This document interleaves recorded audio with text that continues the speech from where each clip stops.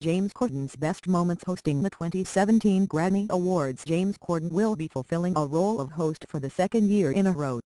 The late-night comedian announced the news during a panel at CBS Upfronts event in New York, where this year's awards ceremony will be held. Topping last year's performance won't be easy for Corden,